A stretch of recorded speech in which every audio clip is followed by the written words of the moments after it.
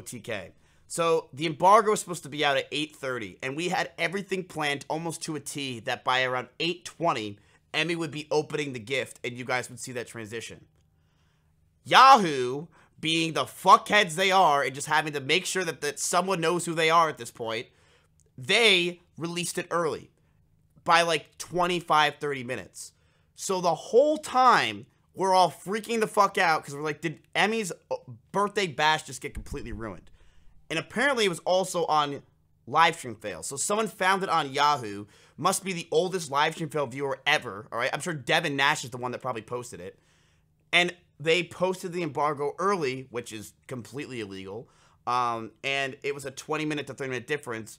But that makes a big difference in our world. The normal world, that won't make a huge difference, right? But in our world, it does. Because what happened was people found out. And, um, you know, it kind of made me realize how small live stream fails really is because nobody cared. Not one person, I didn't see anyone in chat talking about it. Not anyone in general. But we were all freaking the fuck out. I don't know if